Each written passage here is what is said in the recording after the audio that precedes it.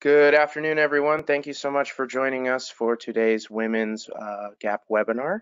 Uh, my name is Jason Funderburg. I'm joined today by Executive Committee member Noreen Moeller and Director of Development, Player Development, Taylor Hollander, as well as Mario Mackey, Director of Member Services, who's going to be perusing the questions section um, to help us filter through some of those. Just a reminder, today's webinar is going to be recorded and up on our website. We're going to show that uh, link at the end of the presentation here. And uh, we also encourage any questions that you guys have. Um, you can ask questions in the window pane of your GoToWebinar app.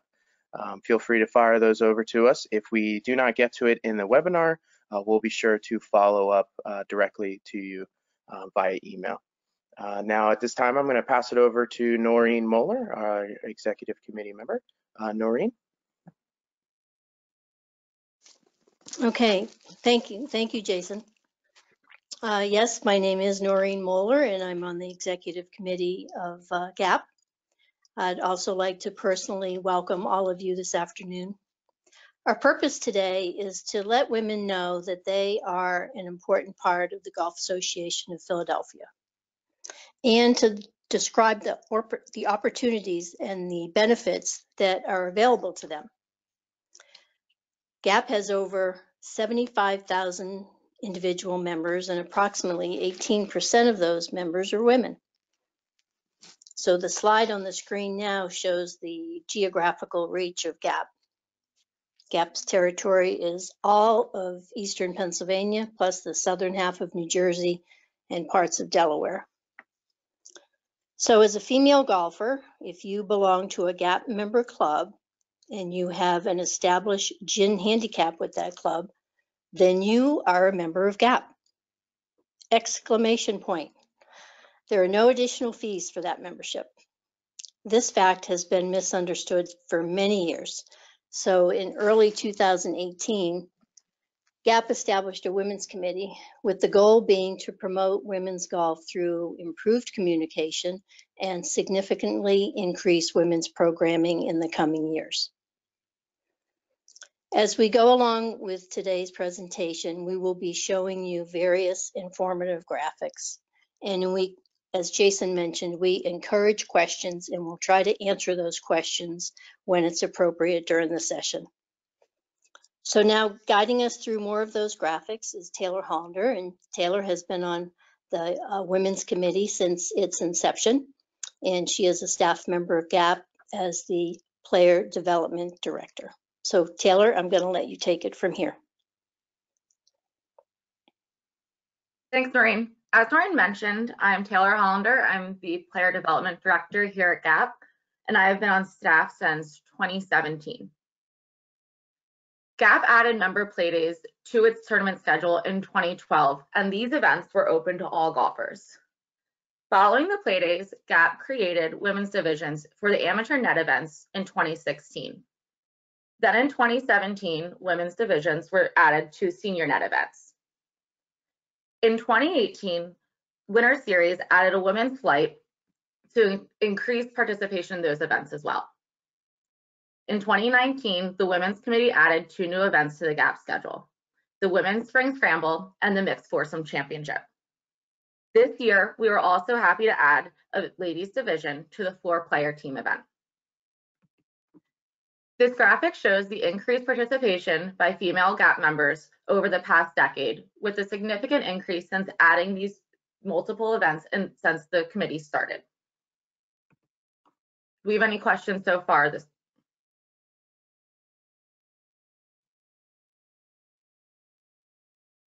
Nothing as of yet in terms of formal questions from the audience. Um, just wanted to remind everyone if you're having difficulty with audio going in and out, um, just be sure to try either logging in or out or um, unplugging your headphones and plugging them back in. Uh, we do have our first question um, from Alexis Bove. It is, uh, is WGAP entirely separate from GAP? Yes, GAP and WGAP are separate entities. Um, we reach all of Eastern PA, Jersey, and Delaware, not only private but public facilities as well. Um, WGAP runs mostly women's, all their women's events in the WGAP team matches, and then we host our separate events.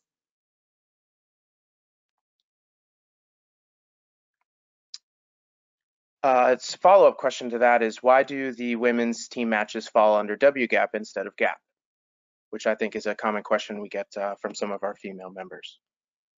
So WGAP started their team matches separately. Um, we have talked about on our committee level starting team matches for through GAP as well, just because of our geographical region and how many female members we do have.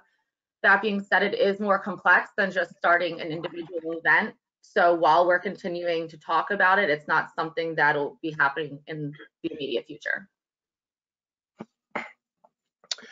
Uh, got a question here for an additional one. Um, will women be allowed to play in men's events in 2020 since things are changing in the world?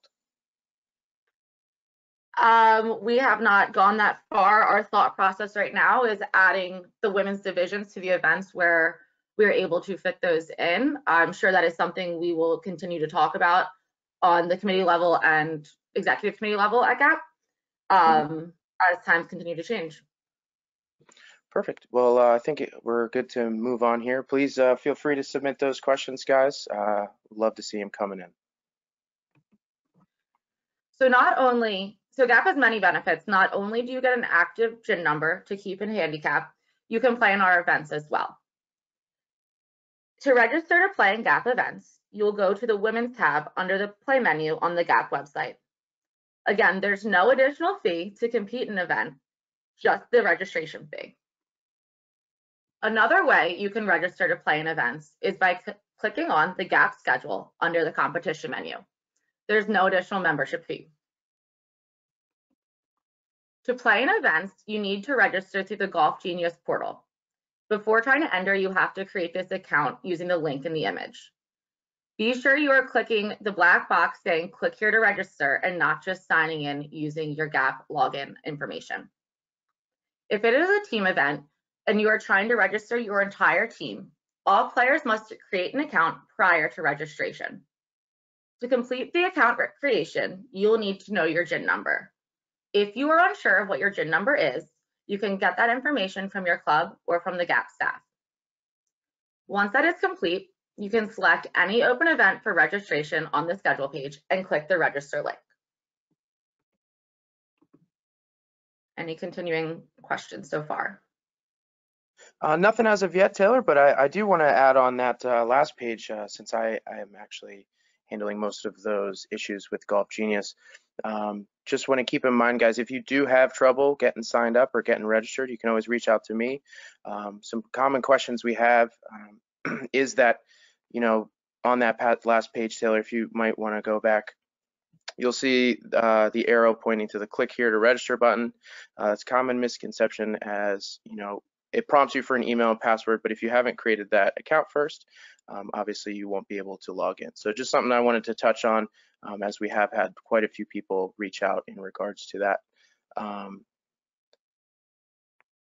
and looking here, uh, no questions as of yet. Um, oh, here we go, got one. Uh, I'm a new, if I'm a new golfer, how do I get a GHIN number and or establish a handicap? So if you go to the GAP website and on the upper right hand corner, you will see the join option. You will first create your GAP locker and then through there you will go and it will set up your USGA GHIN handicap and then you will pay the membership fee through that. And through there you can use the GHIN app to post your scores as well as get all of the member benefits we are currently talking about. Perfect, and that's and that's strictly for our online handicap option. Um, you can always join a club uh, anywhere in the region that is a GAP member and you are automatically um, a member of GAP. Um, got another question here. Um, I, I, have a seven-year-old daughter who wants to play golf. How can she become more involved with GAP? So there are a few options. Um, I will first talk about Youth on Course. We partnered with Youth on Course in 2018. It is a junior membership where you can play at participating facilities around our region and around the country for $5 or less per round. And through that membership, you get a full GAP membership as well. So she will get access to our junior events. Um, we do have the pre-junior, which is a great small tournament where we do a small rules instructional part in the beginning, and then it's a six-hole tournament with the kids.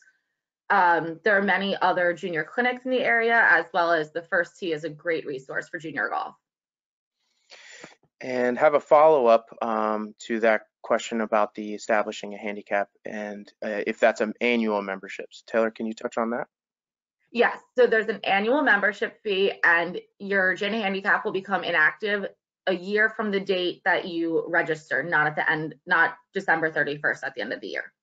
And is that if uh, our members join a club or is that strictly if they sign up online? That's strictly online. Perfect, perfect. Well, uh, looks like we're through with the sec questions on this section. If you want to keep going, uh, we will uh, have another slide at the end there for questions. All right. So the next GAP benefit we're going to touch on are the subscriptions. To manage your subscriptions, you'll log into your GAP Locker on the homepage of GAP. Under your GAP Locker, you'll be able to update your contact information and manage your subscriptions. It's important to remember that this is a separate login from the event registration on the previous slides. Under your GAP Locker, you'll be able to opt in for email updates as well as free subscriptions to Golf Digest and GAP Magazine. We also offer educational seminars. GAP annually hosts a women's rules seminar with guest speakers from the USGA or other key associations. The GAP webinar series has been a bright spot during the COVID-19 pandemic, as we've had over 1,200 attendees at five webinars to educate golfers about the new World Handicap System. A seminar about the World Handicap System was scheduled for earlier this year, but was canceled along with the rules seminar due to the, the pandemic. We also offer, offer volunteer opportunities for our members. Opportunities include tournament volunteers and course raters.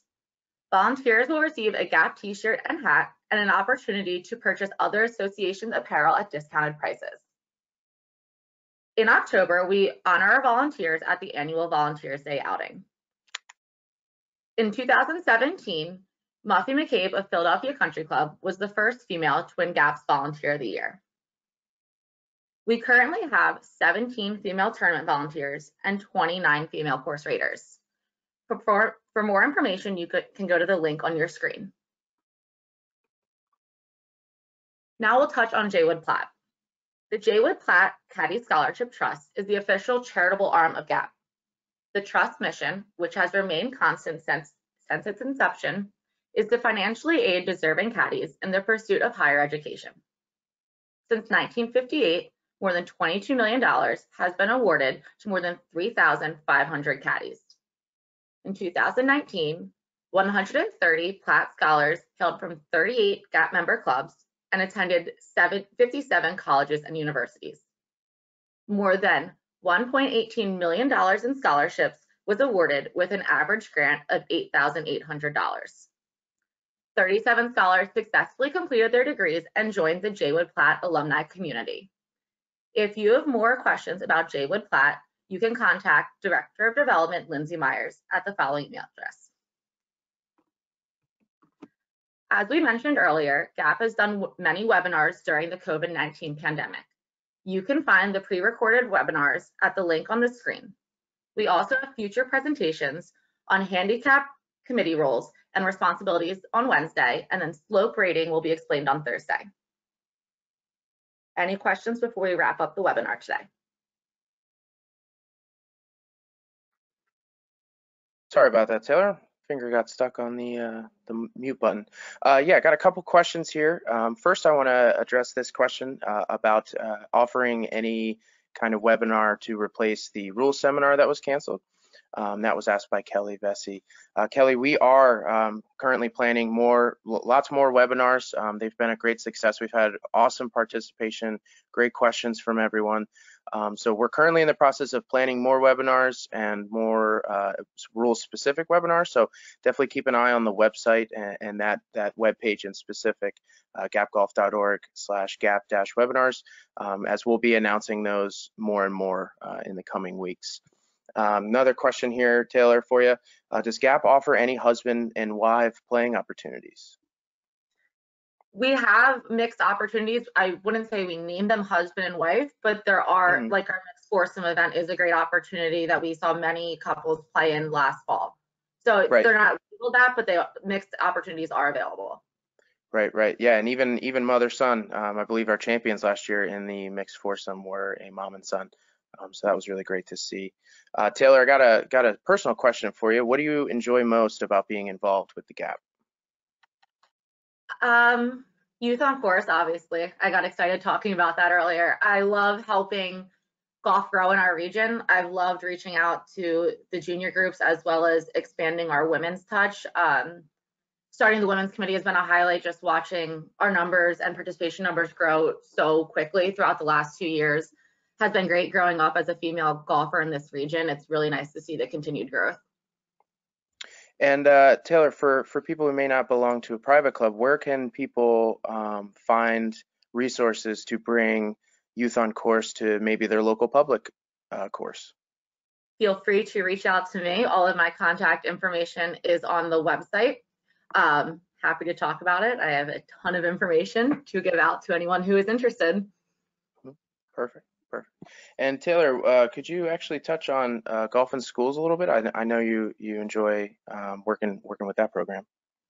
Yeah, so we partnered with the Philadelphia section PGA to offer the Golf in Schools program.